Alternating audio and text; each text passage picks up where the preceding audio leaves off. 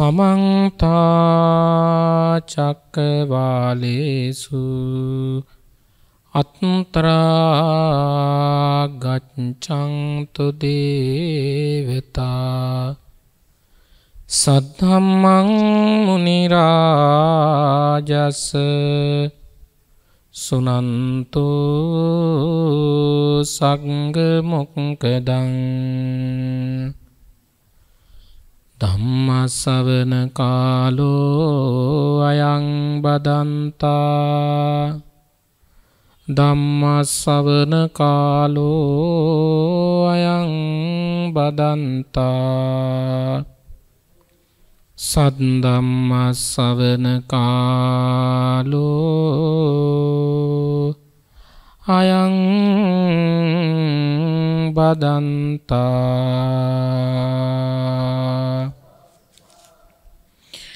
නමෝතස්ස භගවතෝ අරහතෝ සම්මා සංබුද්දස්ස නමෝතස්ස භගවතෝ අරහතෝ සම්මා සංබුද්දස්ස නමෝතස්ස භගවතු අරහතෝ සම්මා සංබුද්දස්ස නත්තිමේ සරණං අඤ්ඤං බුද්ධෝමි සරණං වරං නත්තිමේ සරණං අඤ්ඤං ධම්මෝමේ සරණං වරං නත්තිමේ සරණං අඤ්ඤං සංඝෝමේ සරණං වරං නත්තිමේ සරණං අඤ්ඤං නිබ්බානං පරමං සුඛං සත්තයි භික්ඛවේ අංගේ සමන්නාගතෝ මිත්තෝ සේවිතබ්බෝ කතමේහි සත්ත දුද්දදං දදාති දුක්කරං කරෝති දුක්ඛමං කමති ගුය්‍ය මස්ස ආවි කරෝති. ගුයං අස්ස පරිගුහති. ආපදාසුන ජහති. කීනේන නාති මඤ්ඤති. ඉමේහිකෝ භික්කවේ සත්ත ධම්මේ සමන්නාගතෝ මිත්තෝ. සීවිතබ්බෝතේ ශ්‍යාමෝපාලි මහනිකායේ අස්ගිරි පාර්ශවයෙහි ශ්‍රීමත් මහානායක මාමිපාණන් වහන්සේ එවගේම ප්‍රඥා නාලිකාව පිහිටුවා තියෙන මහනුවර අස්ගිරි මහා විහාර මහපිරිවෙන් අධ්‍යක්ෂක නියෝජ්‍ය ලේකකාධිකාරී අතිගෞරවාර්ය අවසරයි නාරම්පනාවේ ආනන්ද නායක හාමුදුරුවෝ. ඇතුළු කොටගත් ත්‍රෛනිකායක මහා සංඝරත්නයෙන් අවසරයි.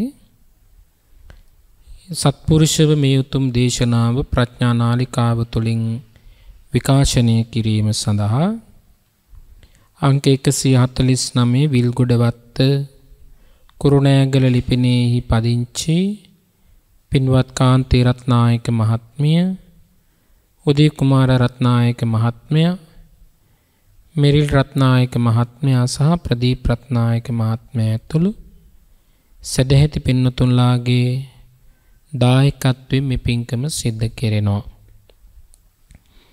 දේශකයාණන් වහන්සේට ආශිර්වාද කිරීමට සහ මහා සංඝරත්නයටත් ප්‍රාර්ථනීය බෝධියකින් උතුම් නිවන් මඟ පූර්ණය කර ගැනීමටම මේ පින් කුසල් උපකාරයක් වේවා යන ප්‍රාර්ථනාව.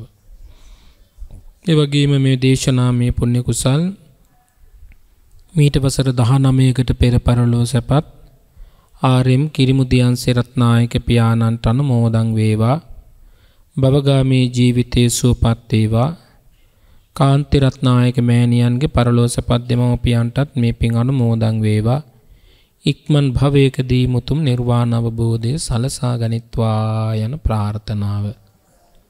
සුජීවත්ව සිටින කාන්ති රත්නායක මෑණියන්ට සහ සහෝදර සහෝදරයන්ට නිදුක් නිරෝගී සුවපත් බව ප්‍රාර්ථනා කරන්නටත් ධර්ම දේශනාවට දායකත්වයේ දැක්වූ ඥාතීත මිත්‍රාදීන් සියලු දෙනාටද නිදුක් නිරෝගී සුවපත් භාවයේ ප්‍රාර්ථනා කරන්නටත් ඔවුන් නමින් පරලෝ සැපත් සියලු ඥාතීත මිත්‍රාදීන්ටද මේ පින් කුසල් අනුමෝදන් වෙත්වා යන ප්‍රාර්ථනාවෙන් මේ පින්කම සිද්ධ කෙරෙනවා. ස්වාමීන් වහන්සේට ආරාධනා කරන්න මේ ජීවිතයේදීම නිවීම පිණිස උපකාර වන දහම් කරුණු කිහිපයක් පහදා දෙන්න කියන නිදහස් ආරාධනාවක් තමයි තියෙන්නේ.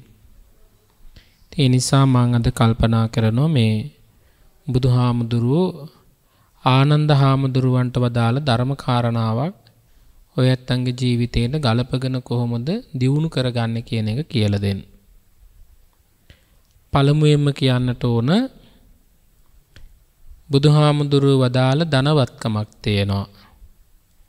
හැබැයි අපි හිතන්නේ ලෞකික ධනවත් වීම කියන එක තමයි ධනය කියලා.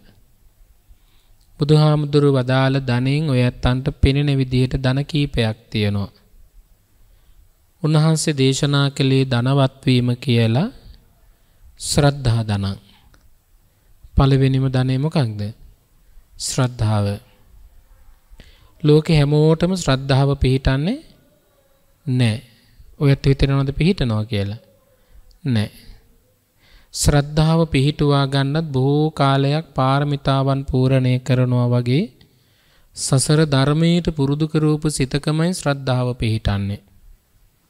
සසර ධර්මයට සිත පුරුදු කරලා නැත්තම් ශ්‍රද්ධාව උපදින්නේ නැහැ.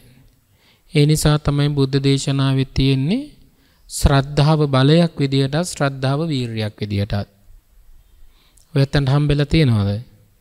ශ්‍රද්ධාව බලයක්. ඒ වගේම ශ්‍රද්ධාව වීරියක්. බලයක් වගේම වීරියක් මොකන්ද? ශ්‍රද්ධාව. ඒ වගේම ධනයක්. ඒ නිසා තමයි බුදුහාමුදුරෝ දේශනා කළේ ශ්‍රද්ධා ධනං කියලා. ශ්‍රද්ධාවෙන් වපුර ගන්න ධනය අපට විපාක සලසන ආකාර කීපයකට ස්ථාවර නිදාන විදියට ජංගම නිදාන විදියට අනුගාමික නිදාන විදියට අපට විපාක දෙනවා. දෙනවද නැද්ද? විපාක දෙනවා. ඔයත් තැම්පත් කරගන්න ධනෙ ওই විදිහට අපට විපාකට ගන්න බැරිද? තේරෙන භාෂාවෙන් කිව්වොත් ඔය ඇත්තු මිල මුදල් හම්බ කරනවා. ධන දීපල හම්බ කරනවා. දූ දරුවෝ හදාගෙන වඩාගෙන වුණ පෝෂණය කරනවා. ඒවත් එක්තරාතකින් ධනයක්. ඒ ධනය පුළුවන්නේ මේ මනුස්ස ජීවිතය දක්වා පරිහරණය කරන්න විතරයි. හරිද නැන්ද? දරුවෝ කියන අයත් ඉන්නේ කොයි තැන දක්වා විතරද? සොහොන දක්වා විතරයි. සොහොනෙන් එහාට කවුරුත් එනවද? ඈ මොන ආදරය, දයාව, ස්නේහය, කරුණාව, මෛත්‍රිය මොනවා තිබුණත් සොහොනෙන් එහාට එන්නේ එන්නේ ඔයත් ගියෙත් නෑ. ඔයත් උන්ගේ දරුවෝ එන්නෙත් එන්නෙත් නෑ.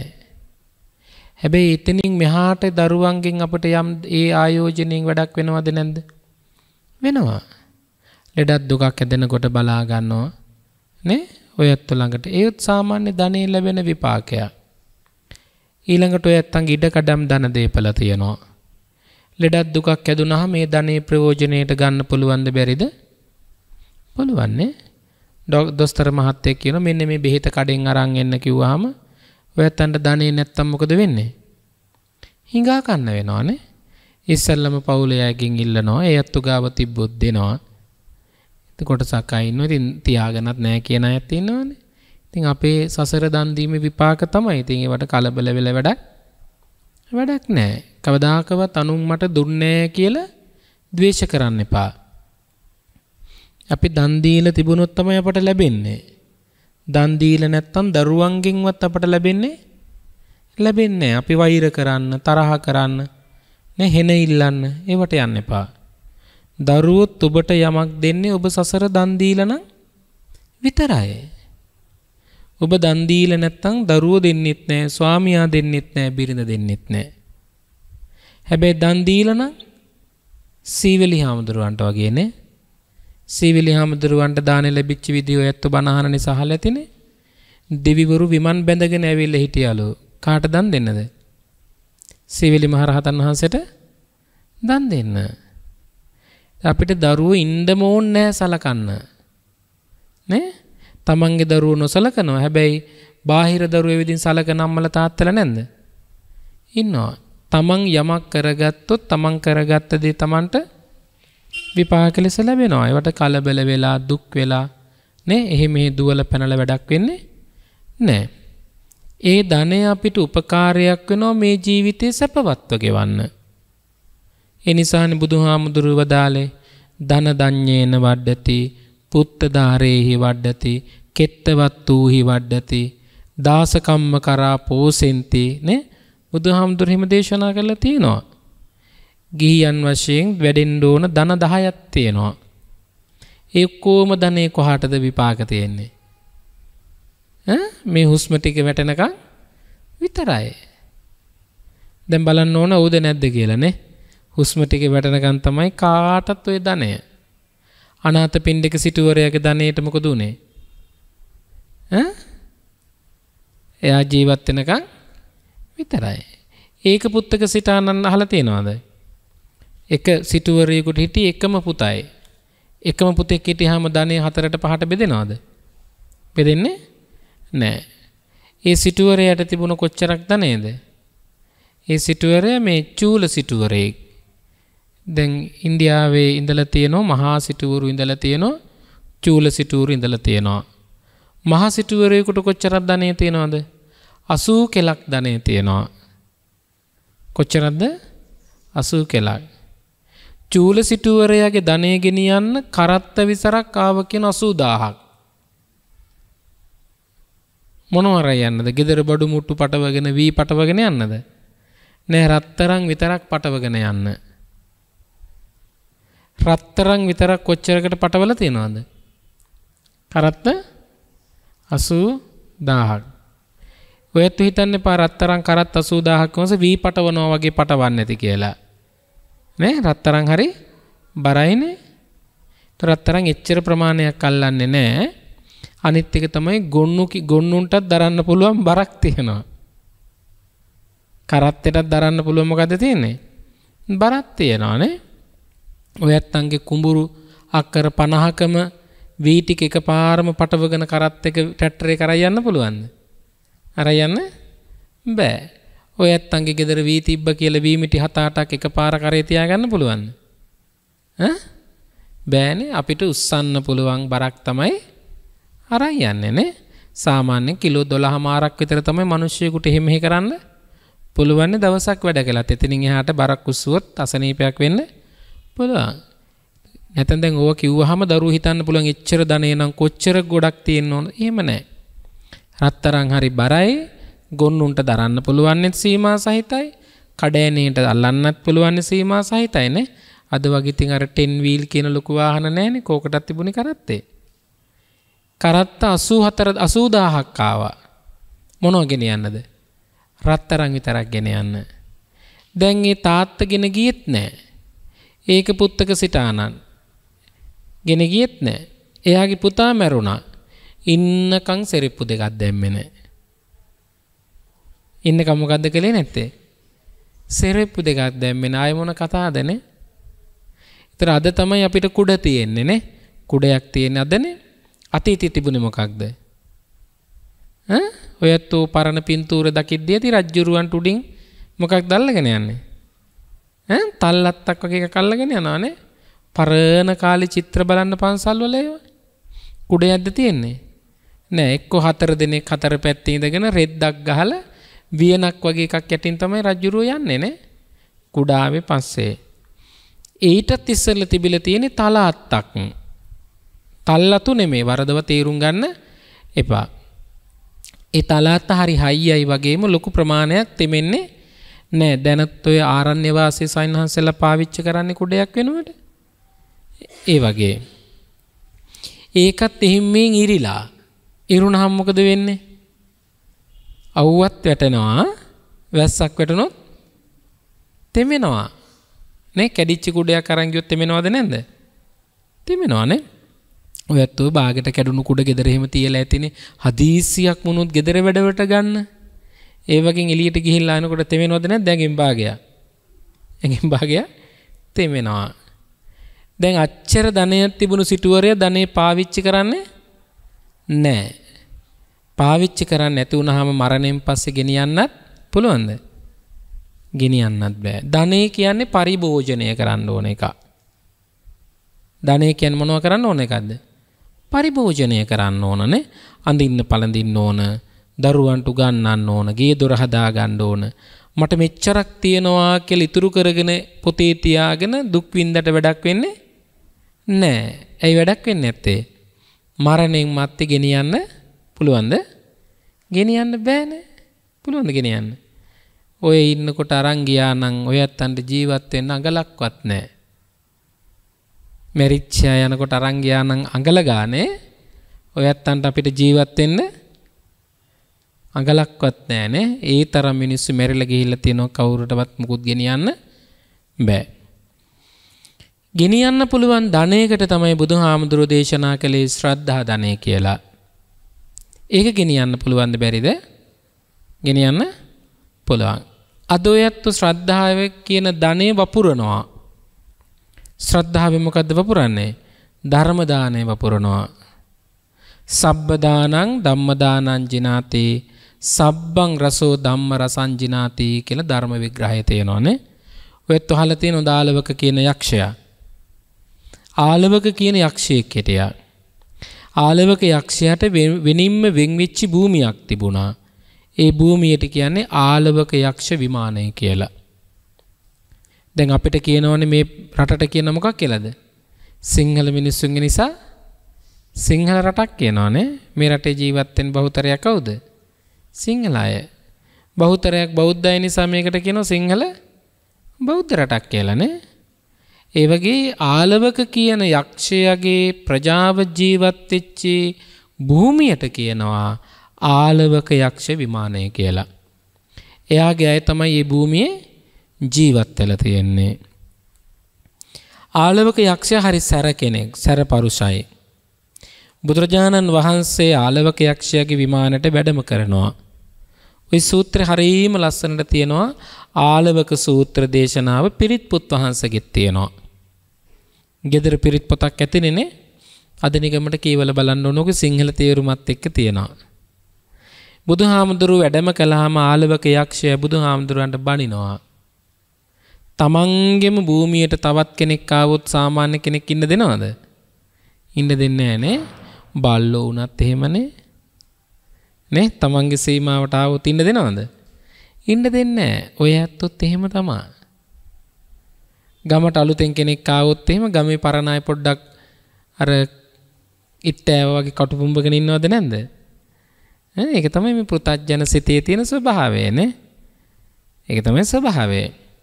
ආලවක යක්ෂයාගේ විමානෙට බුදු රජ බුදු හාන්දුරුව වැඩම කළාම ආලවක යක්ෂයාටත් පොඩ්ඩක් ඩෝන් යනවා.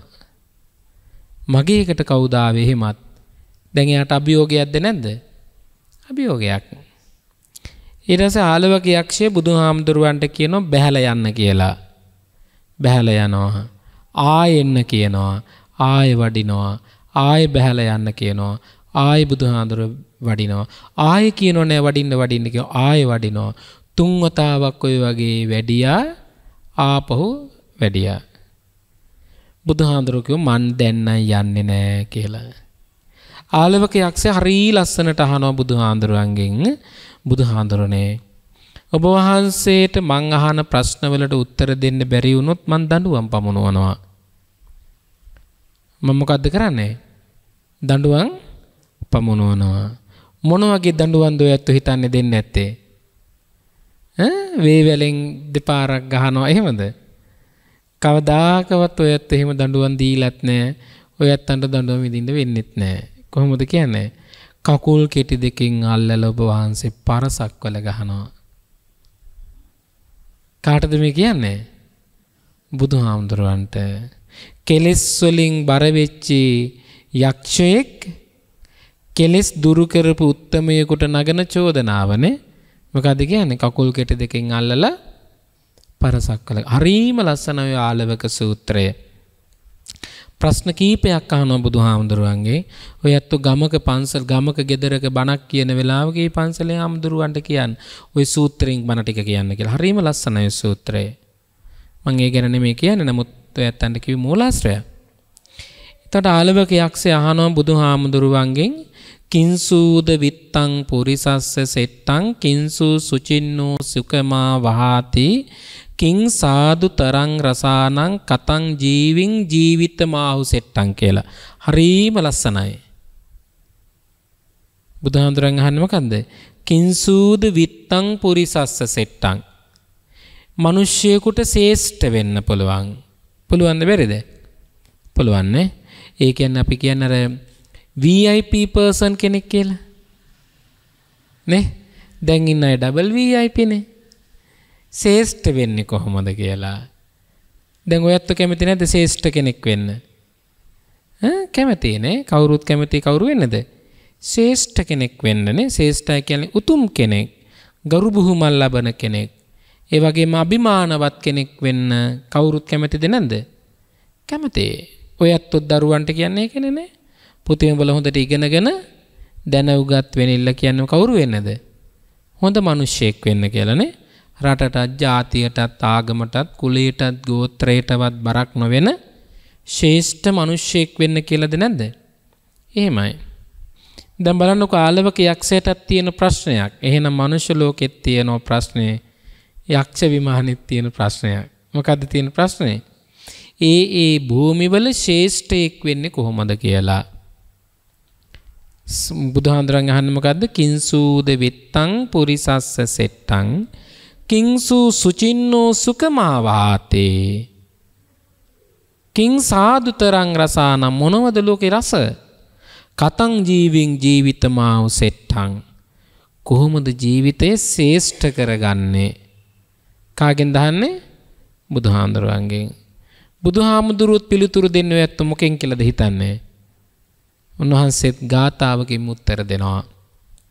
බුදුහාමුදුරුවෝ කියනවා ආලවක සද්දීද විත්තං පුරිසස්ස සෙට්ටං සද්දීද සද්දීද කියන්නේ මොකද්ද?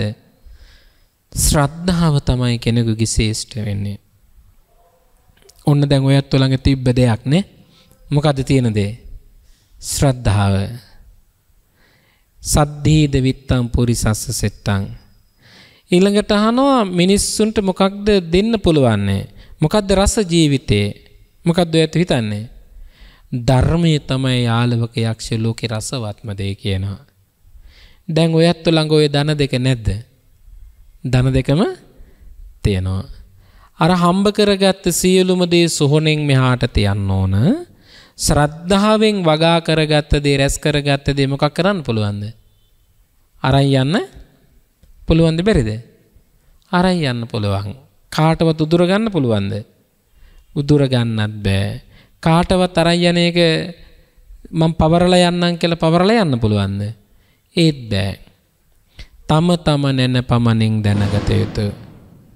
තමන්ට පුළුවන් තමන් කොච්චර ශ්‍රද්ධා සම්පත්තිය තුළ පිහිටලා දින්න කියලා තෝරගන්න.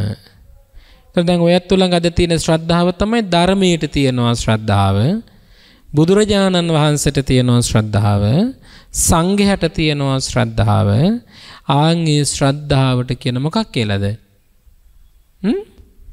ආර්ය වූ ශ්‍රද්ධාවක් තියෙනවා. මොකක් කියලාද කියන්නේ? ආර්ය වෙච්චි උතුම් වෙච්චි ශ්‍රද්ධාවක් තියෙනවා. ඒ ශ්‍රද්ධාවෙන් අහන්න සූදානම් වෙන්නේ බුදුහාමුදුරුව වදාළි ගැන්වීමක්. දැන් මේ ධර්ම සංවාදයේ කවුරුත් එක්ක දැති වෙන්නේ බුදුහාමුදුරුවෝයි ධර්ම භාණ්ඩාගාරික වුණ ආනන්ද හාමුදුරුවෝ අතර දවසක් බුදුරජාණන් වහන්සේ වැඩ ඉන්නකොට ආනන්ද හාමුදුරු බුදුහාමුදුරු ළඟට එනවා කවුරු ගාවට දෙන්නේ බුදුහාමුදුරු ළඟට කවුද දෙන්නේ ආනන්ද හාමුදුරුවෝ. ආනන්ද හාමුදුරුව බුදුරජාණන් වහන්සේට වන්දනා කරලා එකත් පැත්තකට වෙලා වාඩි වෙනවා. එකත් පැත්තකට වෙලා වාඩි වෙනවා කියන්නේ මොකක්ද? ළඟත් නෑ දුරත් නෑ. දැන් ඊතර ක්‍රම කීයද? දෙකයි. ඉස්සරහට ඒ කියන්නේ ළඟින්මත් නෙමෙයි කියන්නේ අභිමුඛවත් නෑ පිටිපස්සට වෙන්නත් නෑ. දැන් ක්‍රම කීයද? හතරයි. ක්‍රම කීයද? හතරයි. ඊළඟට හුලං එන පැත්තට නෑ. පහයි. හුලඟ එන පැත්තට වාඩි වෙන්නෙත් නෑ නේ. ඇයි හුලගෙන පැත්තට වාඩි වෙන්නේ නැත්තේ? බුදුරජාණන් වහන්සේට දක්වන ගෞරවය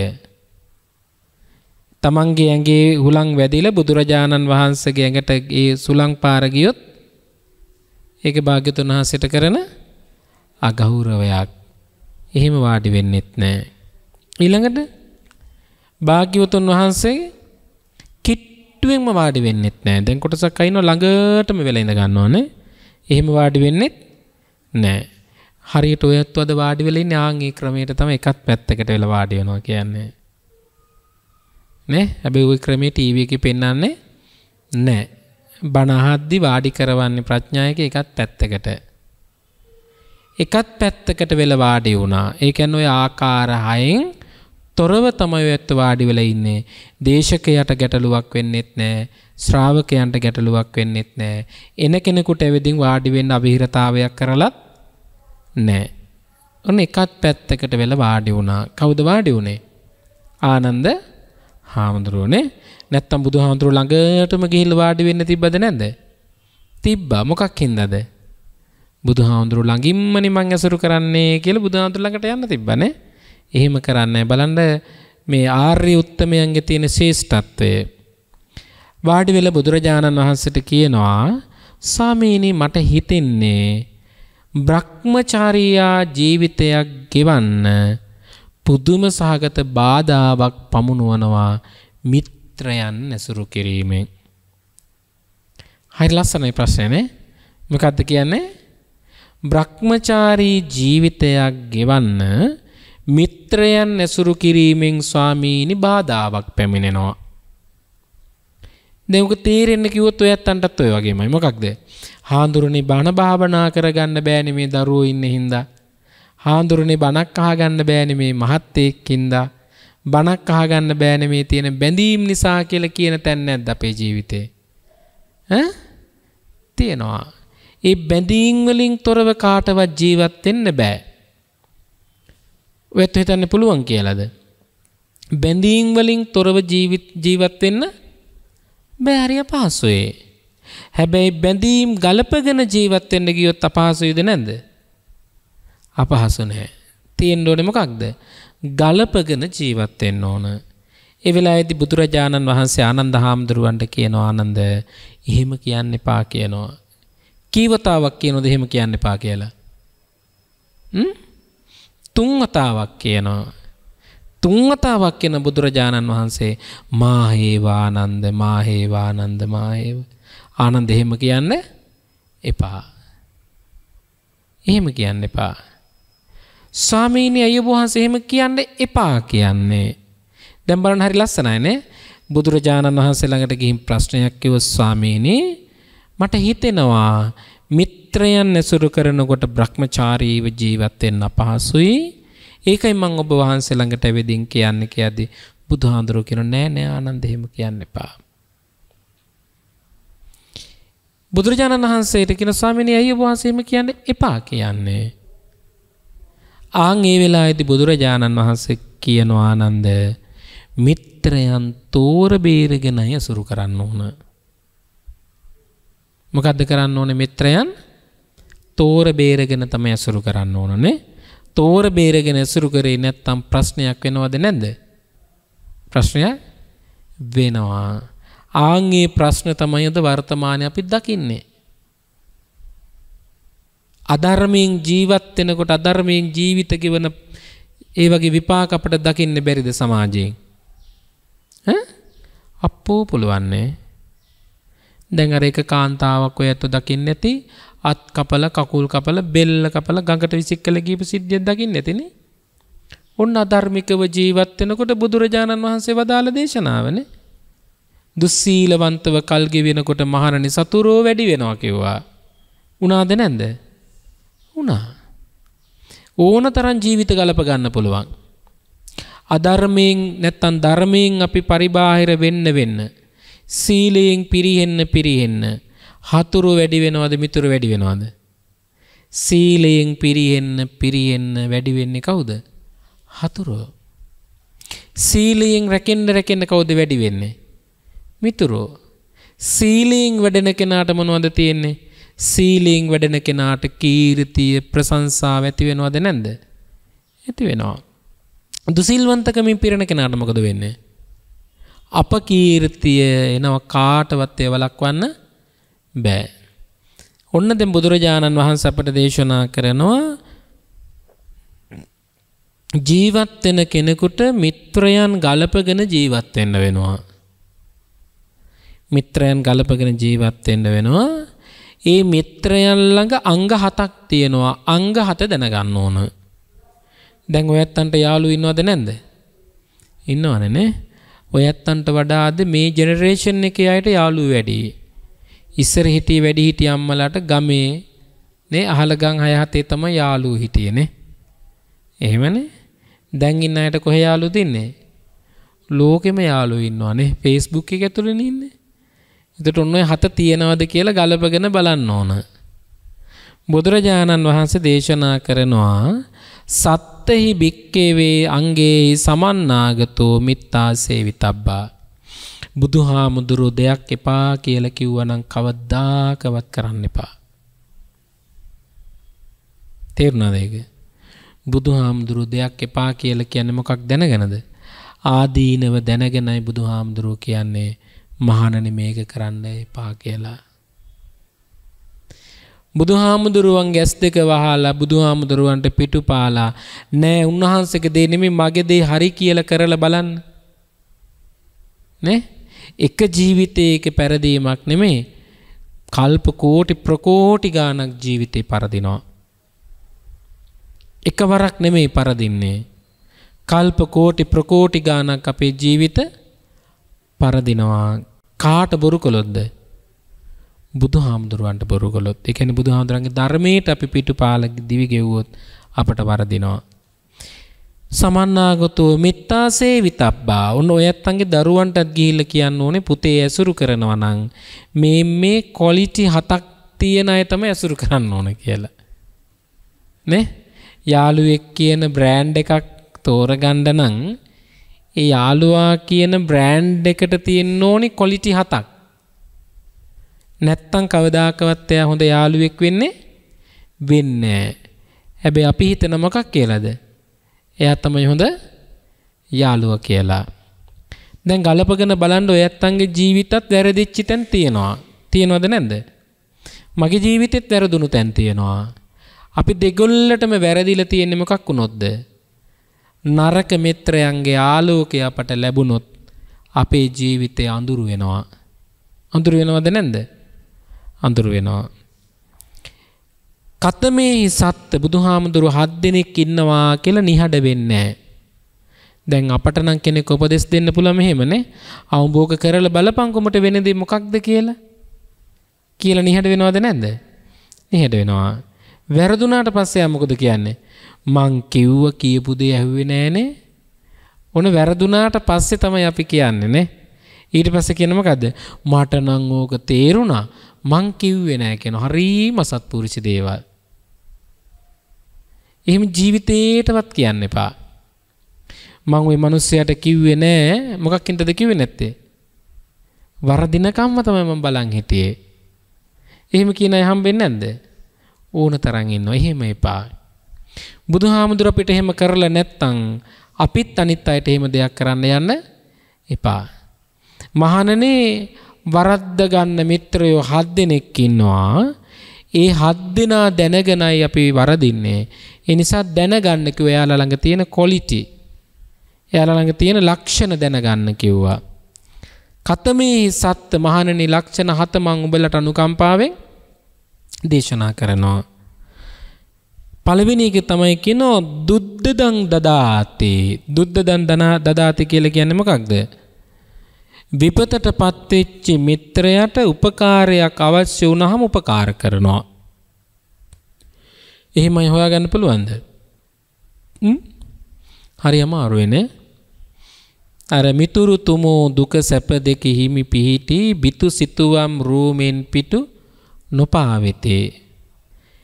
ලෝකේ අපි හිතන මිත්‍රයන් අපිට නෑ. ඉන්නවද නැන්ද? අපට නෑ.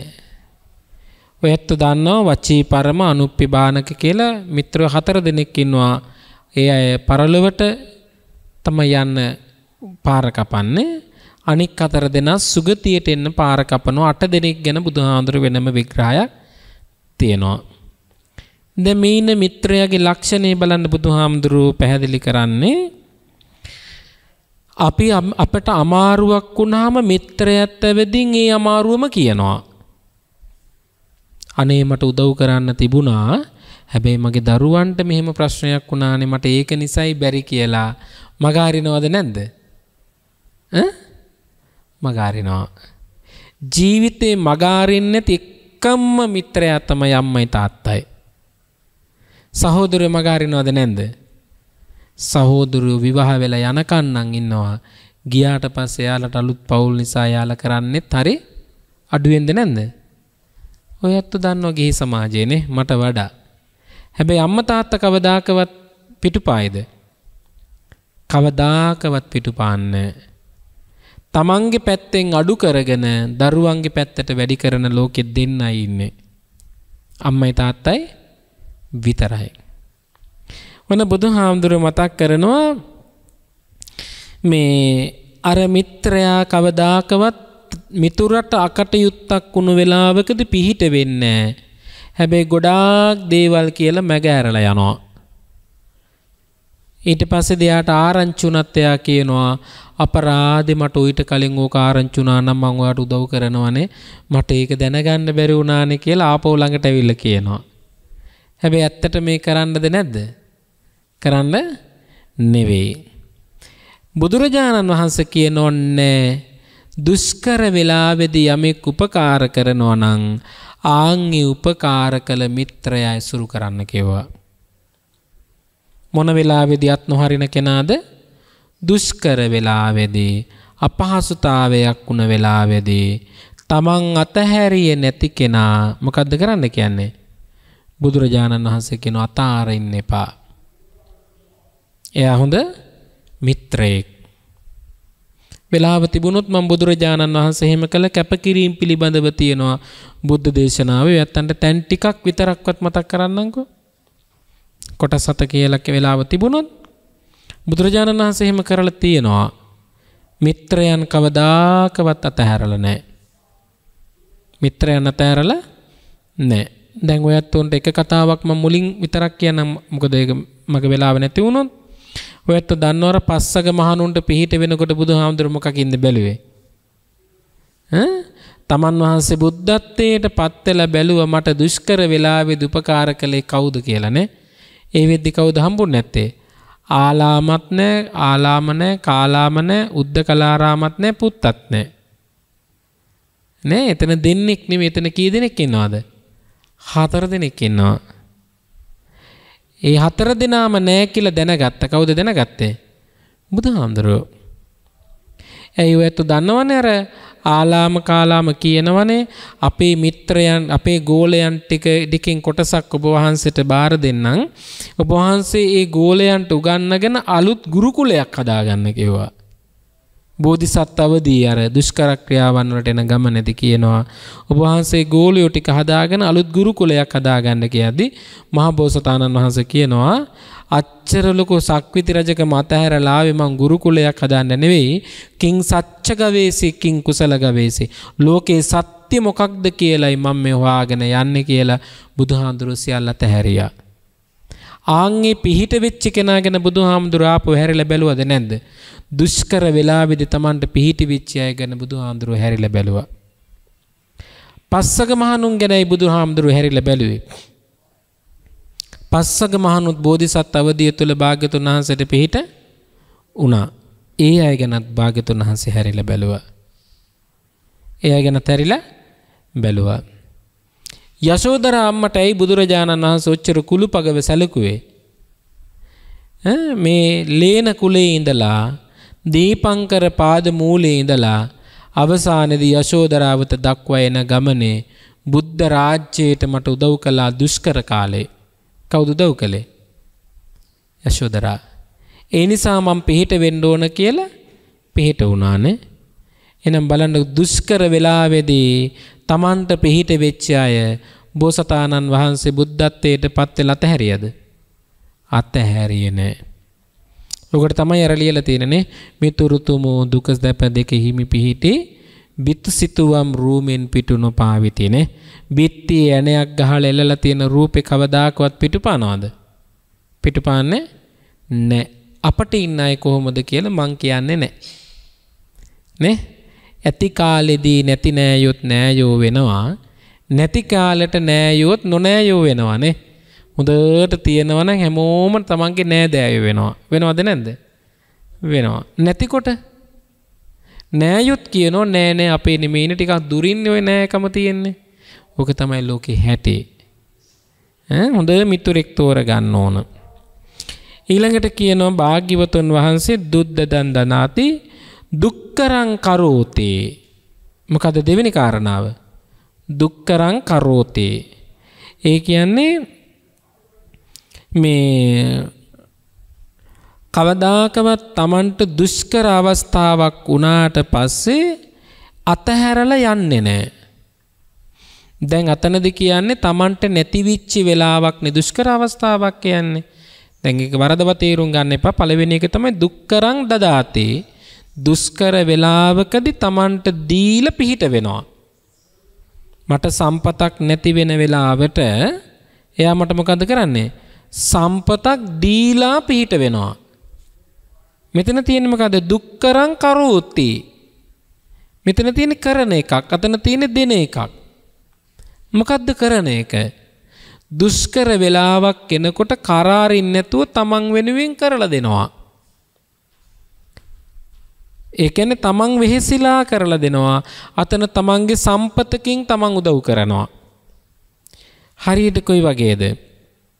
කියනවා තමන්ට අමාරුම අවස්ථාවකදී වතුර ටිකක් නැත්තම් ආන් ඒ වතුර ටිකක් පවා දීලා පිහිට වෙනවා. හරියට මෙහෙම කියනවා මේ මිත්‍රයන් ඉන්නවලු හොරකමකට ගිහින් අහු වුණාට පස්සේ දඬුවමක් පමුණුවන්නට ගෙන යන කල්හි වතුර පෙදකින් හෝ සංග්‍රහ දක්වනවලු මිත්‍රය වෙලාවට කරාරින්නෙත් නැහැ. කෙනෙක් අතින් හොරකමක් වෙන්න බැරිද? කෙලෙස් සහිත කෙනෙක් අතින් වෙන්න පුළුවන් ඒ කාටවත් එහෙම කියන්න බෑ වෙන්නේ නැහැ කියලානේ. බුදුරජාණන් වහන්සේ දේශනා කළා දිලිඳුකම නිසා මිනිස්සු හොරකම් කරනවා. දුප්පත් නිසා මිනිස්සු හොරකම් කරන්නේ නැද්ද? හොරකම කරනවා. මිනිස්සු මොකක් නිසාද කරන්නේ? දාලිද්‍යයන් දිලිඳුකම නිසා. මං කියන්නේ හොරකම් කරන්න කියලා කියන පෙළඹවීමක් නෙවෙයි නැත්තම් අපේ ඇත්තු අල්ලගන්නේ ඔතනින්නේ හාමුදුරු හොරකම් කළාට කමක් නැහැ කිව්වා කියලා. එහෙම එකක් නෙමෙයි. මිනිස්සුන්ට යම් දුෂ්කරතාවයක් ආවහම දරා ගන්න බැරි තැන ඒ තැනකදී මිනිස්සෙක් අතින් හොරකමක් වෙන්න පුළුවන්. එක්ක ආදීනව දැනගන්න නැතුව හොරකමක් වෙන්න පුළුවන්. පුළුවන්ද බැරිද? පුළුවන්. ඒ වෙලාවේදී කියනවා බුදුරජාණන් වහන්සේ අත්තරින්න එපා කියනවා. පළවෙනි එක මොකද්ද? හොරකමේ තියෙන ආදීනව ගැන කියලා දීලා ගලව ගන්න ඕන මිත්‍රයා. එයා වලේ වට්ටන එක නෙමෙයි කරන්න ඕන මොකද්ද කරන්න ඕන? හොරකමේ තියෙන ආදීනව ගැන කියලා දීලා නැවත හොරකමක් නොකරන විදිහට එයා එතනින් ගලව ගන්න ඕන. ඒකටයි කියන්නේ දුක්කරං කරෝතේ. කවුරුත් ඒ වෙලාවට පිහිට වෙනවද නැද්ද? පිහිට වෙන්නේ අනේ යා හොරෙක් නේ කියලා කවුරුත් අතහරිනවද නැද්ද? අතහරිනවා. කොන් කරනවා, තනි කරනවා. අවසානට එයාට එක්ක සමාජයට මූණ දී ගන්න බැරුව සිවිදි විහානි කර ගන්න තැනට පවාපත් වෙනවා. ඊට පස්සේද කියනවා අනේ මම මේක දැනගෙන නෙවෙයි කළේ නමුත් මන් දැන් මොකද්ද කරන්න කිව්වහම කවුරුත් එයාව අතහැරියොත් එයාට කවුරුත් පිහිට වෙන්න ඉන්නවද? පිහිට වෙන්න කෙනෙක් නැහැ. දුක්කරං කරෝති යාන් ඒ වෙලාවට ඔබ දක්ෂ වෙන්න ඕන. මේ මිනිස්සයා මට පුංචි හෝ උදව්වක් කරලා තියෙනවා. ඒ නිසා මම මේ මිනිස්සයාට මේකේ ආදීනව ගැන කියලා දීලා නිවැරදි කරන්න ඕන කියලා. දැන් මේක හොඳ ගුණයක්ද නැද්ද? හොඳ ගුණයක් නේ. ලෝකේ කවුරුත් අපිට යම් උදව්වක් කළොත් ඒ උදව්ව කරපු කෙනාට වරදිනකොට ගිහින් පිහිට වෙන්න ඕන. ඒකයි බුදුහාමුදුරුව දෙවෙනි කාරණාව. දුක්කමං කමතේ දුක්කමං කමති කියලා කියන්නේ මොකක්ද? අන්‍යයන් කරන ගැරහීම් ඉවස ගන්න බැරුව පාපක නැමැති නිවසේ රඳවාගෙන සිටින මේ අර ඒ තැනැත්තට අනාථපිණ්ඩික සිටුවරයා පිහිට වුණා වගේ පිහිට වෙන්න ඕන කියනවා. ඔය මිත්‍රයෙක් හිටිය පාපක කියලා. එයාගේ නම මොකද්ද? පාපක. පාපක කියන මිත්‍රය එළව එළවා අකුසල් කරගන්නවා. ඒක බුද්ධ දේශනාවේ තියෙන දුක්කරං කමතිනේ. සමාව දෙනවා කියන එකනේ කමති කියන්නේ. සමා දෙනවා. එතකොට ඒ කෙනා ප්‍රතික්ෂේප කළාට පස්සේදී අනාථපිණ්ඩික සිටුවරයා තමන්ගේ සිටුමැදුරට ගෙන්න ගත්තා. තමන්ට කළ පුංචි උදව්වක් නිසා. දැන් අපි නම් ගෙන්න ගන්න නෑනේ නේ. අපි එලවලා දානවනේ. ඒ කියන්නේ අපි දකින දේ ඇතුලේ කෙනෙකුට නිවැරදි වෙන්න බෑ. එය සදාකාලික ඒ වැරැද්දේ හංවඩු ගහනවා නේ. ඔය ඇත්තන්ගේ වචනෙන් කිව්වොත්. අපෝ ඒ මනුස්ස ඇසුරු කරන්න එපා. ඔය මනුස්ස මෙහෙම එකෙක්. ඒ නිසා හතර හීමාවට වද්ද ගන්න එපා කියලා අපි කෙනෙක් සමාජයෙන් කොන් කරනවද නැද්ද? කොන් කරනවා. බුදුරජාණන් වහන්සේ එහෙම කළාද? නැහැ. අනාථපිණ්ඩික සිටුවරයා පාපක කියන මිත්‍රයා තමන්ගේ ගෙදරට ගෙන්න ගත්තා. ගෙන්න ගන්නකොට අනාථපිණ්ඩික සිටුවරයාට චෝදනාවක් පලාතෙන් ගමෙන් එන්න ඇද්ද නැද්ද? එනවනේ. ඔය ඇත්තන්ගේ ගෙදරට කවුරු හරි වැරදිකාරයෙක් ගෙනල්ලා නිවැරදි කරගන්න උදව් කළොත් ගමේම මිනිස්සු දොස් කියන්නේ නැද්ද? අපු කියන්න පටන් ගන්නවනේ. ඔයාලට පිස්සුද ඔය මිනිස්සෙ ගෙන්න ගත්ත ඔය මිනිස්සෙ මෙහෙම එක්කෙනෙක්නේ. අතීතයේ මෙහෙමනේ කල් ගෙවි වර්තමානයේ කිව්වට ඔයාලා කොහොමද විශ්වාස කරන්නේ? මිනිස්සු කියන අය විශ්වාස කරන්න බෑ කියලා තවත් විස පොවනවද නැද්ද? විස විස පොවනවා. දැන් බලන්න බුදුහාඳුරු දේශනා කරන විදිහ මිත්‍රයාගේ තියෙන ලක්ෂණනේ. අපි කාටවත් ඉන්න පුළුවන්ද සදාකාලිකව මෙහෙ? ඈ? ඉන්න හම්බෙන්නේ නැහැ. හැබැයි අපි කෙනෙක් නිවැරදි කළොත් ඒ කෙනෙකුට නිවැරදි වෙන්න බැරිද? නිවැරදි වෙන්න පුළුවන් නේ. කුඩා කාලෙදිම කොය ඇත්ත ඔය තැනට ආව එකම වරදක්වත් නොකරද? ඔය ඇත්ත කරපු වැරදි ගැන අහන්න ඕන අම්මගෙනුයි තාත්තගෙනුයි. නේ? එයාලා ඔළුවේ අත ගහගෙන කියයි ඔක අහන්න තු පැත්තකටලා හිටපන් කියලා. අපි කවුරුත් සමාජයේ වැටි වැටි නැගිටින මිනිස්සු කෙලෙස් එක්ක ජීවත් වෙන අය. ඒ නිසා තවත් කෙනෙකුට වරදින්න පුළුවන්. කෙනෙකුට වරදින්න පුළුවන් කෙනෙක් කරපු වරදක් නීතියට අසුනොත් තමයි දඬුවමකටපත් වෙන්නේ. හැබැයි නීතියට අහුවෙන්නේ නැතුව ඒ වැරද්ද කරපු කී දෙනෙක් නම් එළියේ ඉඳගෙන අහුවෙච්ච කෙනාට දොස් නගන ඉන්නවද නැද්ද? හරද සාක්ෂිය නැමැති දේ උසාවියක් වෙලා නඩු ඇහුවනම් හරද සාක්ෂියෙන් හැමෝම ඉන්නේ කොහෙද? ඒ වැලිකඩ බන්ධනාගාරේ. වෙනස තමයි එයාගේ වැරැද්ද අහුුනේ නෑ අහුවිච්ච කෙනාගේ වැරැද්ද අහුුණා. ඔච්චරයි වෙනස. නේ හැමෝටම පාරමිතා පුරල බුද්ධත්වයට පත්වෙන්න නොහැකි වුණාට බුද්ධත්වයට පත්වෙනකං අපි අතින් වරදක් වෙනවද නැද්ද. අඩු වැඩි වශයෙන් වැරදි වෙනවා. මේක ශේෂ්ඨ මනුෂ්‍යයෙක් ළඟ මිත්‍රයෙක් ළඟ තියෙන ගුණයක් තමයි බුදු හාමුදුරුව කියන්නේ. අනාථපිණ්ඩික සිටුවරයා ගෙදරට ගෙන්නගෙන තමන්ගේ මිත්‍රයට සලකද්දී සමාජයෙන් ආපු චෝදනාවන් තමන් ඉවසුවා. ආන් ඒකයි කියන්නේ දුක්කරං කමති කියලා. තමන් ඇසුරු කරන කෙනා නිසා වටෙන් චෝදනා විඳින්න වෙනකොට තමන් දුෂ්කරව ඉවසගෙන යාට උදව් කරන්න ඕන. තමන්ට අනුන් බනිනකොට ඉවසන්න වෙනවද නැද්ද? වෙනවනේ. දැන් උදාහරණයක් හිතන්න ඔය ඇත්තු මං මං වැරදක් කරලා ඔය ඇත්තු ළඟට ආවොත් ඔය ඇත්තු මං නිසා බැනුම් අහනවද නැද්ද? බැනුම් අහනවා. ඔය ඇත්තු අතින් වරදක් වෙලා ඔය ඇත්තු අපේ පන්සලට ආවා කියලා හිතන්න. එතකොට මිනිස්සු මට බනිනවද නැද්ද? ඒත් බනිනවා. දුක්කරං කමතේ. හැබැයි මම දන්නවා මේ මිත්‍රයා නිවැරදි කරන්න මන් ළඟ හැකියාවක් තියෙනවා. ඒ නිසා මට මෙයාව නිවැරදි කරන්න පුළුවන්. ඒ නිසා සමාජයේ කෙනෙක් මොනවා කිව්වත් මං මගේ මිත්‍රයා නිවැරදි තැනට ගන්නවා. හරියට අපේ අම්මලා තාත්තලා අපි කුඩා කාලේදී වරද කරනකොට අපිව නිවැරදි කළා වගේ. නේ අම්මා තාත්තා අපිව නිවැරදි කළාද නැද්ද? නිවැරදි කළා. දුක්කරං කමතේ. දුෂ්කරව Tamanට ඉවසන්න වෙනවා. Tamanගේ මිත්‍රයා නිවැරදි බවට පත් කරගන්න. එක් ඔය ඇත්තන්ගේ දරුවා වෙන්න පුළුවන්, ස්වාමියා වෙන්න පුළුවන්, බිරිඳ වෙන්න පුළුවන්, අසල්වාසීන් වෙන්න පුළුවන්, නෑදෑයෝ වෙන්න පුළුවන්, නොනෑයෝ වෙන්නත් පුළුවන් නේ. පුංචි උපකාරයක් කළ කෙනෙක් අතින් වරදක් වුණොත් එයාව නිවැරදි කරගන්න වෑයම් වඩන්න කියනොත් සමාජයේ කොච්චර Tamanට චෝදනා කළත් දුක්කරං කමතේ ගුයිය මන්සං ආචිකරෝතේ ඒ කියන්නේ මොකක්ද කොච්චර ලාභයක් ආවත් මේ ඒ යාළුවා විසින් කියන දෙයක් රහසක් ලෙස ආරක්ෂා කරන්න කියන කාටවත් කියවන්න යන්නේ නැතුව.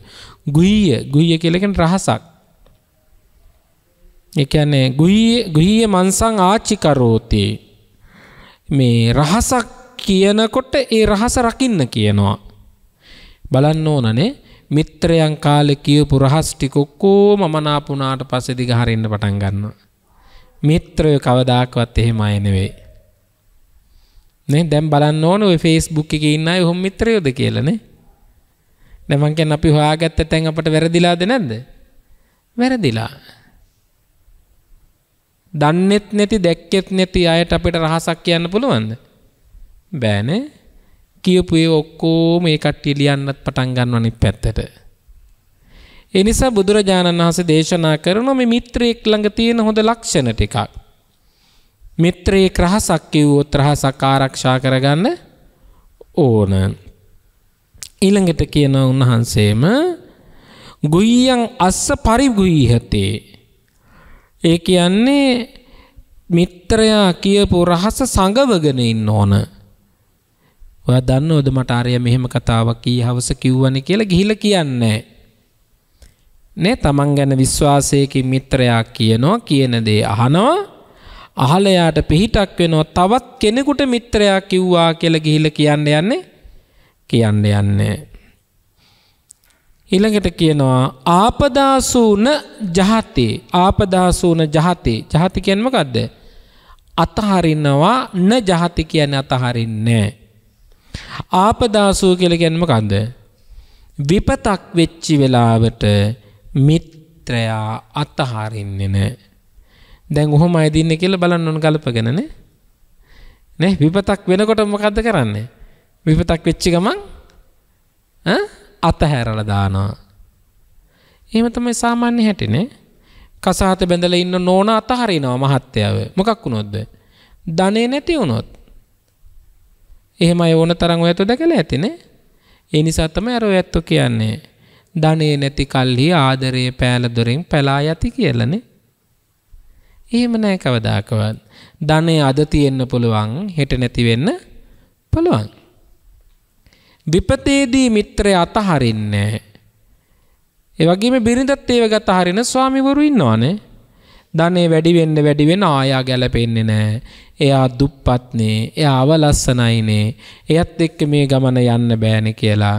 එතකොට තමයි අර නොපෑහෙන දීගේ අවෙනැල්ලත් ඇදෙන්න පටන් ගන්නෙනේ. එයත් ඒ විදිහමයි, අරයත් ඒ විදිහමයි.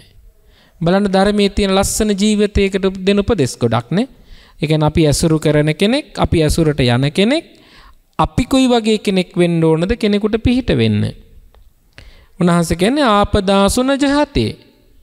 ආපදාවක් වෙන වෙලාවට විපත්තියක් වෙන වෙලාවට මිත්‍රයා අතහරින්නේ නැහැ. ඒක ස්වාමියා වෙන්න පුළුවන්, බිරිඳ වෙන්න පුළුවන්, අම්මා තාත්තා වෙන්න පුළුවන්. අම්මා තාත්තට ආපදාවක් වෙනවා කියලා කියන්නේ මොකක්ද? ශරීර සෞඛ්‍යයෙන් පිරිහෙනවා. ඒක ඒ අයට ආපදාවක්ද නැද්ද? ආපදාවක්.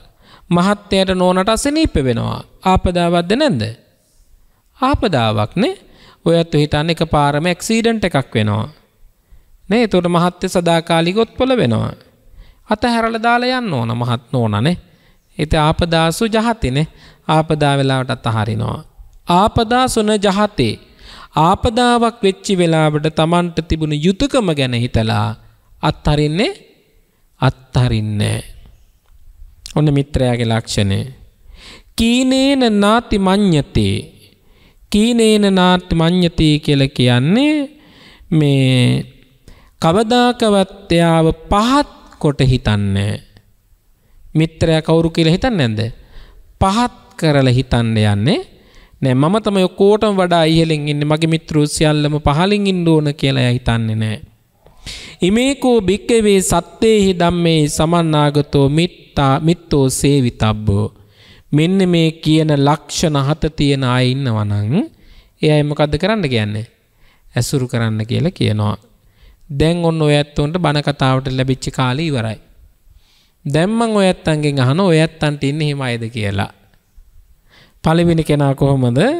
පළවෙනි කෙනා කියනවා දුෂ්කර දේ දෙන්න පටන් ගන්නවා. ඒ කියන්නේ Tamanට අමාරුම දේ Tamanගේ මිත්‍රයා වෙනුවෙන් කැප කරලා උදව් කරන අය ඉන්නවා. ඊළඟට දුෂ්කර වෙලාවේදී තමන් වෙනුවෙන් කැප වෙලා කරනවා.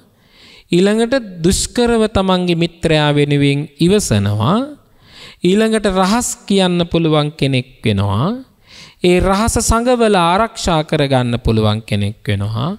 විපතක් වෙනකොට අත්හැරලා යන්නේ නැහැ. විපතේදී තමන් ළඟ ඉන්නවා.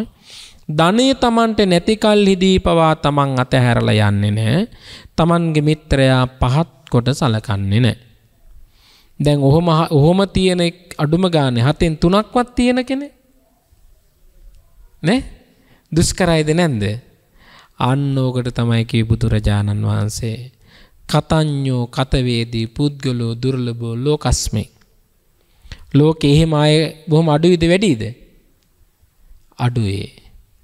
ආනන්ද හාමුදුරුවන්ට කියන බුදුරජාණන් වහන්සේ ආනන්ද එබඳු අය ඇසුරට ලැබුණොත් එහෙම Brahmacharyaවට බාධාවක් වෙන්නේ වෙන්නේ Brahmacharyaවට බාධාවක් වෙන්නේ වෙන්නේ Brahmacharyaව රැක ගන්න පුළුවන්. මාහේව ආනන්ද මාහේවනේ. ආනන්ද එහෙම කියන්න එපා. මිත්‍රයන් ඇසුරු කිරීමෙන් කෙලෙස් දුරු කරගන්න Brahmachaරීව කල් ගෙවන්න පුළුවන්කම තියෙනවා. දැන් ඔයත්තන්ටත් මං යෝජනා කරන්නේ. ඔයත්තොත් ඇසුරු කරන්න ඕනේ. ඔන්න ඔය වගේ ක්වොලිටි තියන අය. එහෙම නැතු නොදන්න අය කවදාකවත් තමන්ගේ මිත්‍රයෙක් වෙනවද? වෙන්නේ තමන් ගැන දන්න තමන්ගේ උස්මහත්කම් ගැන දන්න තමන් පිළිබඳව දන්න දකින කතා කළ හැකි මිත්‍රයෙක් තමයි තමන්ගේ මිත්‍රයෙක් වෙන්නේ. ඔයත්තොත් එබඳු ගති ලක්ෂණ දියුණු කරගත්තොත් ඔයත්තන්ටත් හම්බ වෙන මිත්‍රයෝ කවුද? ඒ වගේ අයමයි. අපි ළඟ තිබුණොත් තමයි අපිට එකතු වෙන්නේ. අපි ළඟ නැත්තම් කවදාකවත් අපිට එකතු වෙන්නේ නැහැ. ඔබටත් මා ප්‍රාර්ථනා කරනවා මේ බුදුහාමුදුරුව වදාළ මිත්‍රයෙක් ළඟ තියෙන ලක්ෂණ හත දියුණු කරගන්න. ඒක නිවනට බාධාවක් වෙන්නේ නැහැ. බුදුහාමුදුරුව ළඟ මේ ලක්ෂණ තිබ්බනේ. ඒ ඉපදුණු ආත්මවල භවයන් තුළ භාගතුන් වහන්සේ ළඟ මේවා තිබ්බද නැද්ද? තිබුණා. භාග්‍යතුන් වහන්සේ තමන්ගේ මිත්‍රයන් වෙනුවෙන් ජීවිත දන් දුන්නු තැන් තියෙනවා. නේ? තමන්ගේ මිත්‍රයන් වෙනුවෙන්. ඔයත්තන්ට ජාතක කතා පොත කියවලා බලන්න. නේ? ජාතක කතා ටික කියවලා බලන්න. බුදුහාමුදුරේ අර එක් කාලෙක වඳුරෙක් වෙලා ඉපදිච්ච කතාව අහලා තියෙනවනේ. උණ බටේ වතුරට දාලා බොණ්ඩ යන වෙලාවේදී කවුරු වෙනුවෙන්ද ජීවිතය දෙන්න ගියේ? තමන්ගේ මිත්‍රයන් වෙනුවෙන්නේ නලපාන ජාතකයේ කියවලා බලන්න. මිත්‍රයන් වෙනුවෙන්.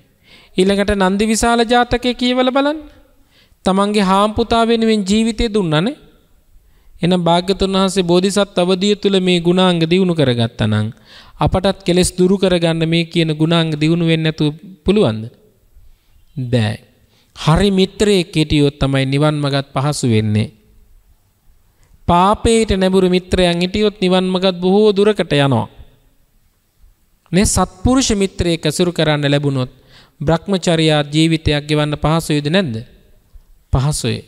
ඒ නිසා තමයි බුදුහාඳුරුව කිව්වේ බජිත බික්කවේ කල්යාණා සාරිපුත්ත මොග්ගල්ලානෝනේ. භජනය කරන්න ඇසුරු කරන්න කිව්ව කවුද? සාරිපුත්තයන් වහන්සේ සහ මුගලන් හාමුදුරුවන් වහන්සේ. කවුරු විදිහටද? කල්යාණ මිත්‍රයනේ දෙන්නේ. රහතන් වහන්සේලා ළඟ මේ ලක්ෂණ ටික තියද්දි කොච්චරනම් අපේ ජීවිතේට ආලෝකයක් වෙනවද නැද්දනේ? එක්වරක තියෙන ඔය අනුරුද්ධ මහරහතන් වහන්සේ Tamanගේ පිරිසට කියන ඔයත්තු භාවනා කරන්න මම පින්ඩපාතේ ගිහින් අරන් එන්නම් කියනවා. ඔයාලට කණ්ඩ ඔයාලා හොයාගෙන එන්න කියලා කියන්නේ ඔයත්තු වළඳන්න නැතුව භාවනා කරන්න මං වළඳන්න ආහාර ටික හොයාගෙන එන්නම් කියනවා. කල්යාණ මිත්‍රයෙක් ඇසුරු කරනකොට කොච්චරනම් අපේ නිවන් මාර්ගය පහසු වෙනවදනේ? ඉතින් අපි ළඟත් තියෙන්න ඕන. ඒ නිසා ඔය ඇත්ත අර ඉමිනා පුඤ්ඤ කම්මේන මාමේ බාල සමාගමෝ සතං සමාගමෝ හෝතු යාව නිබ්බාන පත්‍යානේ. මාමේ කල පින නිවන් දකිනතේ කලන මිතුරු වසුර ලැබීම පිණිස උපකාර වේවා කියලා ප්‍රාර්ථනා කරනවා වගේම අපි ළඟත් ඒ ක්වොලිටි ටික හදා ගන්න ඕන. ප්‍රාර්ථනා කළාට හැම දෙයක්ම වෙන්නේ වෙන්නේ නැහැ. මේ මිත්‍ර ලක්ෂණ ටික ඔයත් අද බනට ඇහුවා එකක් හෝ දෙකක් හෝ වඩා ගන්න. හැමෝටම මිත්‍ර වෙන්න බැරි වෙන්න පුළුවන්. අඩුම තරමේ තමන්ගේ බිරිඳටවත් ස්වාමියාටවත් දරුවන්ටවත් දෙමව්පියන්ටවත් මේ ගුණාංග හත ඇති කෙනෙක් බවට පත් වෙන්න. එතකොට ඔබට හිතෙනවා අනේ මට මේකෙන් මෙච්චර ලාභයක් ලැබුණා නම් මේක එළියට යවුවොත් මට තව කොච්චර ලාභයක් සැලසෙයිද කියලා. ඉතින් ඔයත්තන්ට ඒ උතුම් ධර්මයේ වඩා ගන්න මේ කුසලයේ උපකාරයක් වේවා යන ප්‍රාර්ථනාව සිද්ධ කරනවා. අද ප්‍රඥා නාලිකාව තුළින් මේ දේශනා මුළු ලෝකයටම විසුරුවාරින්නට සැදැහැති දායකත්වයේ දැරුවේ අංක 149 විල්ගොඩවත්ත කුරුණෑගල ලිපිනේ පදිංචි කාන්ති රත්නායක මහත්මිය උදේ කුමාර රත්නායක මහත්මයා මෙරිල් රත්නායක මහත්මයා සහ ප්‍රදීප් රත්නායක මහත්මයා ඇතුළු සැදැහැති දායක පිරිස. ඒ පින්වත් පිරිස ලොකු කුඩා හැම දෙනාටම මෙලව යහපත පරලොව යහපත පිණිසම මේ පින් කුසල් උපකාරයක් වේවා. සුඛපටිපදාවකින් නිවන් මඟ පූර්ණේ වෙත්වා යන ප්‍රාර්ථනාව සිද්ධ කරනවා. ඉතින් අර සබ්බදානං ධම්මදානං ජිනාති හොඳම දානේ මුළු ලෝකයා වෙනුවෙන් පූජා කරලා ලබන්නට පුළුවන් විශාලම කුසලානිසංස ධර්ම අනුමෝදන් කරනවා දේශකයාණන් වහන්සේට වගේම මහා සංඝරත්නයට ප්‍රාර්ථනීය බෝධියකින් උතුම් නිර්වාණ අවබෝධයේ සාක්ෂාත් වේවා යන ප්‍රාර්ථනාවත් අපවත් වී වදාළ සියලු මහා සංඝරත්නයට මේ පින් කුසල් නිවනේ සැනසුම සඳහා පිහිටත්වා යන ප්‍රාර්ථනාව. ඒ වගේම මේ උතුම් කුසල ශක්තිය මීට වසර 19කට පෙර පරලෝ සැපත් ආර්යම් කිරිමුදියන් සරත්නායක පියාණන් වහන්සේට භවගාමී ජීවිතයේ සුවපත් වෙත්වා යන ප්‍රාර්ථනාවත් කාන්ති රත්නායක මෑණියන් වහන්සේගේ දෙමෝපියන් ඇතුළු සියලු කුල પરම්පරාගත ඥාතිවරුන්ට උතුම් නිවනේ සැනසුම සඳහාම මේ පින් කුසල් උපකාරයක් වෙත්වා යන ප්‍රාර්ථනාවෙන් පුණ්‍යානුමෝදනා කරනවා. සුජීවත්ව සිටින කාන්ති රත්නායක මෑණියන්ට සහ සහෝදරයන්ට නිදුක් නිරෝගී චිරජීවනය ලැබේවා ධර්ම දේශනාවට දායකත්වයේ දරූ ඥාතීත මිත්‍රාදී සියලු දෙනාද නිදුක් නිරෝගී සුවපත් භාවයන් ලබත්වා ඔවුනොවුන්ගේ පවුල්වල සියලු දෙනාමත් මේ උතුම් පින් අනුමෝදන් වීමෙන් උතුම් නිර්වාණ අවබෝධය සලසා ගනිත්වා යන ප්‍රාර්ථනාව සිද්ධ කරනවා. ඔයත් හැමදෙනෙක්ම මේ දේශනාව ශ්‍රවණය කළේ මහනුවර ප්‍රඥා නාලිකාව පිහිටුවා ඇති ශාඛාවේ අස්කිරි මහා විහාර ධර්ම මණ්ඩපයේ. මෙහි ආධිපතිත්වය ඔබ වන අතිගෞරවාර්හ අවසරයි නාරම්පනාවේ ආනන්ද නායක හාමුදුරුවන්ටත් ත්‍රෛනිකාය කතිපූජනීය මහානායක මාහිම්පාණන් වහන්සේලාටත් මයි ගුරු දේවෝත්තම ඓතිහාසික ලංකාතිලක රාජ මහා විහාරාධිපති අවසරය මනුගම රාජගුරු විපස්සිනායක හාමුදුරුව ඇතුළු මහා සංඝරත්නය නිදුක් වෙත්වා නිරෝගී වෙත්වා සුවපත් වේවා සසර මග දුක් දුරු කරගෙන ප්‍රාර්ථනීය බෝධියකින් නිවන් මග පූර්ණය කරගනු ලබත්වා යන ප්‍රාර්ථනාව සිද්ධ කරනවා. ආකාසට්ඨා ච බුම්මට්ටා දේවා නාග මහිද්దికා පුඤ්ඤන්තං අනුමෝදිත්වා චිරන් රක්කන්තු ලෝක සාසනං චිරං රක්කන්තු ධම්මදේශනං චිරං රක්කන්තු ත්වං සදා හැම දිනාටම තෙරුවන් සරණයි.